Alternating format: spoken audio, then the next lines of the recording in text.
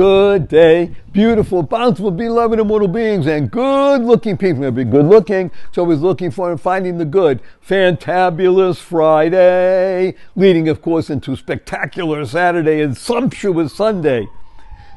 We're working this week with this amazing insight into the most valuable asset that we all have time. Time, of course, stands for thinking is miraculous every day.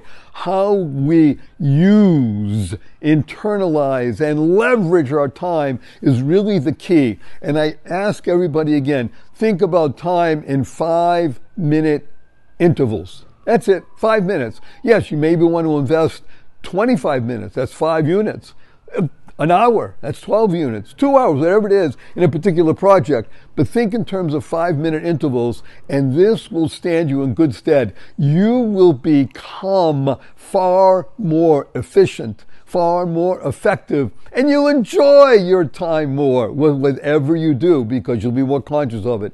Go forth. Live exuberantly. Spread the seeds of joy, happiness, peace, and love. Go mad. Go make a difference.